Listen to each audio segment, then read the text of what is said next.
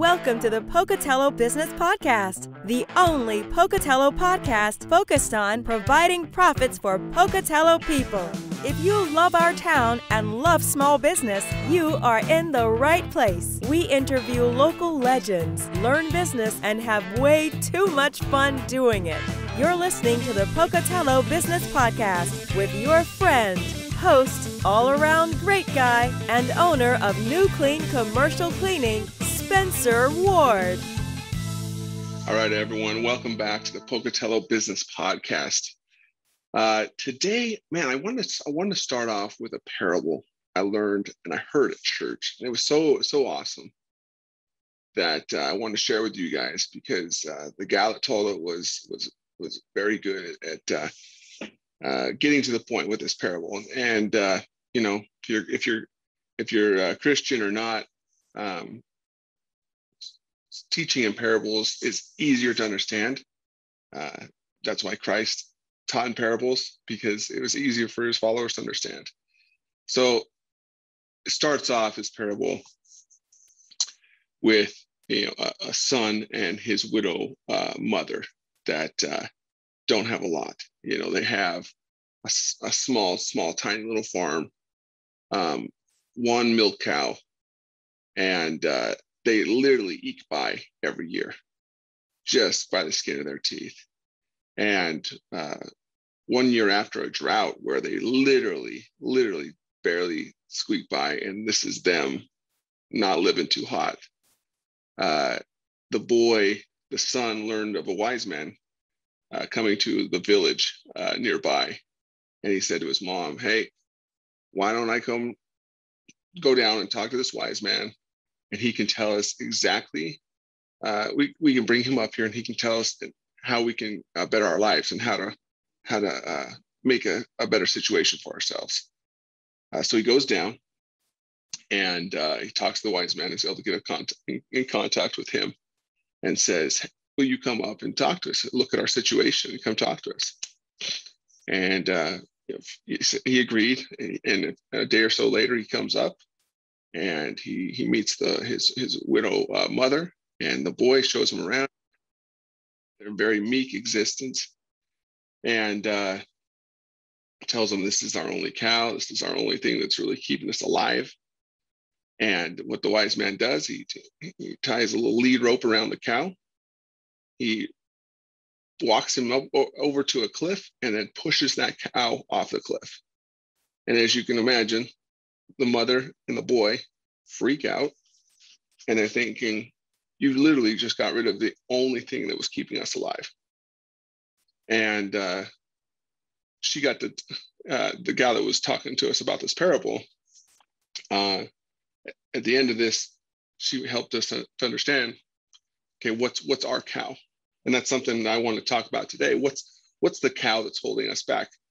But the story goes on. Okay, um, so the, the, the wise man says, listen, I'm going to come back in a year, in a year's time, and I'm going to come check, check on you and your mother. So a year, year goes by, he comes back and he notices this big home on the hill. And he says to the villagers, who, who is this? Who's, whose home is this? This beautiful home here. And, and the villagers say it's, it's the, you know, it's the, the widower and that, and, and her son. So of course he walks up to the to the house and uh, says, "I don't know if you remember me," and they said, "Oh yes, oh yes, we remember you." And uh, the wise man said, "Okay, what happened? And what what? How are you able to to do this? And how are you able to get this this beautiful home and and uh, be living the way you're living right now?" And they said, "Once our cow was kicked off that cliff, that was the only thing that was keeping us alive. We had to kind of rethink the way we were doing things." And be more creative and and come up with other ways to to keep ourselves alive. And that brought out a whole nother way of thinking and and their creativity just went crazy and they were able to be more successful because they didn't have that crutch of that one cow that they were just they were they were eking by but they were that was their comfort zone. That was where they were comfortable at. Okay as long as we can keep this cow fed and watered he's going to give us just enough to survive. Instead of now having the cow gone and thinking, okay, how else, what, how are we going to do this? So now in in all our lives, what's that cow in all of our lives or our team's lives uh, that's that's holding us back? Um, you know, in my my personal story, uh, when I was starting New Clean, uh, my my cleaning company, I was also working uh, part time quite a bit for my family business, uh, and that was that was you know I was comfortable. I wasn't I wasn't you know living right. You know I wasn't living the the lap of luxury by any means, but I was you know I was paying my bills. You know nothing fantastic going on, but uh, what happened is that family business went away, and that cow got pushed off a cliff. And now I had to realize, okay, I, I've got to jump both feet into this business where I'm going to starve. And that's what helped um, push me to go further and to, to grow the business. Uh, and then on top of all this, uh, as I was growing the business, I, I also started doing some uh, commercial real estate on the side. And, and that started taking up more and more of my time. And then my, my business, New Clean, started to, you know, be stagnant and, and start to plateau. And I started thinking again, like, man, you know, this is this is nice. This real estate's nice. I'm making some commissions here and there, but it's you know not regular income. And again, I had to think to myself after three to four years of being in real estate, ah, I gotta, I've got to push this cow off the cliff. So I, I turned in and uh, put my real estate license on inactive, and again jumped full fully into to new clean again, and uh, new clean because of that and that because that full attention and and uh, the ability for me to have all my creative thinking going straight to one source was able to to flourish and, and to continue to grow. You know it's you know i'm still not living the lap of luxury. I'm doing a lot better than i was. And that is the moral of the story. What is what is your crutch? What is the cow that you need to push off a cliff? Um you know as i think about this a lot and uh you know and, and also in the sunday school class uh, they talked about goal setting. You know, how many of us, and I, I know I don't have the best goals uh, for some of these categories, um, or the way I think about it. You know, I have goals every year I set down with, and they're measurable goals. Uh, they broke them down in these four categories, which is uh, easier way for me to understand. So that, do you have any goals uh, for your intellectual growth? Do you have any goals for your physical growth or physical losing, maybe some losing some weight, or maybe some spiritual growth.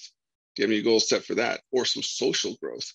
You know, maybe it's all about spending more time uh, with your kids, jumping on the trampoline with them more.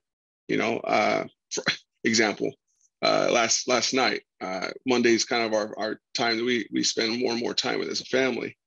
And uh, my kids were, you know, hey, Dad, come out to the trampoline, come wrestle with us. They love wrestling, and and my boys love it. I throw them around, toss them all over the place. And now my girls love it too. I'm a, little, a lot more gentler with my girls than I am with my boys. But uh, I was thinking, you know, I just got done making dinner. I was starting to clean up. I'm like, guys, I don't really have time. And I see all them go out and start jumping and having fun. And I just think to myself, you know what? I gotta, I gotta jump both, both feet in. These kids, you know, I'm not gonna have too much more time with these kids under me, under under my roof, roof and uh, I, I, went out, took my shoes off, and I threw those kids around. You know, I put the put the world of pain on them. but uh, no, I love I love my kids, but it, that's just one of those social goals that I have is to be able to spend more time, whether it be wrestling with them or or, or playing basketball with them in our backyard or riding bikes with them or playing dolls with my daughters that's a huge social goal I have for myself. And I, I treat that time as gold now. And I literally try to, my best uh, option on my phone I, I see now in the evenings is airplane mode. And that helps me to accomplish some of those social goals and even some uh, my other goals as well. But intellectual goals, you know, do I have any books I'm trying to read? Uh, and I've got some from uh, Russell Brunson, the owner of ClickFunnels, I'm trying to read to become a better marketer myself um, physical goals, of course, you guys all know I'm trying to lose some weight. Those LBs, they can continue to plague everyone, uh, especially me. So I'm trying to do that. And then my spiritual goals, of course, you know, I'm Christian, I'm God fearing man. Uh, I, I love to read my scriptures in the morning. and I just feel more well-rounded. So if those are the goals, if you guys are looking for a way to better your life and to and to, to kick that cow off the, the cliff, maybe start thinking of, of some of these goals in those four quadrants the intellectual, the physical, the spiritual, the social. Uh, there's more to being a good businessman than just going there and being creative and and uh, getting deals done. Uh, you gotta you gotta be more well-rounded, and uh, kicking that cow off the cliff is necessary in any case because we all get comfortable to a certain degree, and it's important to to to take that cow and not just tip him off that cliff, just throw him off that cliff, and come to start to realize what you can accomplish and what how much more is available to you if you can think outside that box. So that would be my message today is throw that cow off the cliff, set your your four quadrant goals. Uh, and that's that's that's the big one today, guys. Uh, as always, Dell's Outdoor Advertising are always there to sponsor us. Uh, we're picking up some more sponsors this upcoming couple of weeks. Uh, so we'll have some more sponsors as well. Uh, but if you need a billboard, call call Rob at uh, Dell's Outdoor Advertising. Mention the podcast; they'll give you a month for free, or your or your installation for free with a three month uh, uh, agreement. And uh, until next time, guys, continue to subscribe, give me a nice uh, rating and review, and uh, share these episodes around. If, if this is something that appeals to you and something you can relate with, especially this episode, share it. You know, let's let's continue to push this along and help other people uh, pro- provide more profits for them and their company and their teams. So you guys have an awesome day, and we'll chat with you all later. Bye.